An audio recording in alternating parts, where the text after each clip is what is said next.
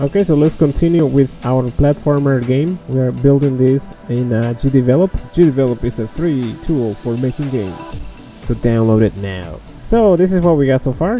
We're in level 3, and um, we have to make this invisible. Let me just make that invisible at start. We can do that with code. So we want to make um, those objects invisible.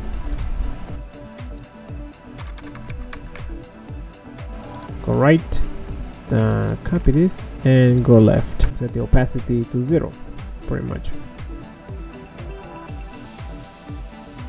Bring him out a little bit.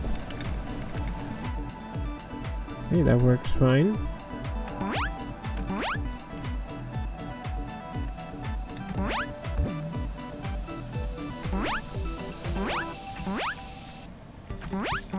It's a little too high there so let me just uh, uh, create some sort of trampoline there.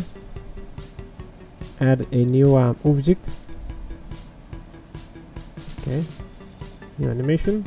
Open Piskel and uh, let me resize this to our default size which is at 32 by 32 I believe you can set this uh, to 32 by 32 uh, by default.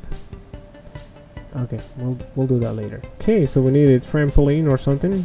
Some sort of object will have to be flat on top. A more artificial looking color be like purple. Bouncy object. Okay so if you jump on this while um, if you collide with this while falling then we can jump